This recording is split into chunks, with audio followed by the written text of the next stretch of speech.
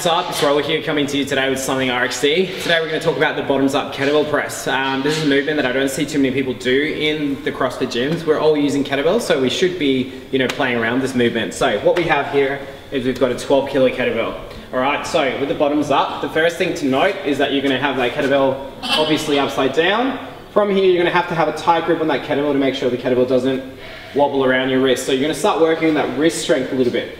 From here, you're going to work on stability of your shoulder. You're going to press up slowly but surely all the way till that kettlebell is all the way above your head, fully locked out.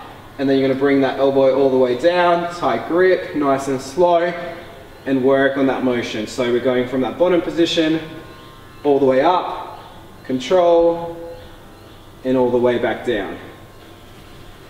So reasons why we want to try and use these things like the bottom, um, bottoms up kettlebell press is that you're going to work on your wrists, get some wrist strength there, stabilize that wrist and you're going to work on stabilizing your shoulder as you're pressing up.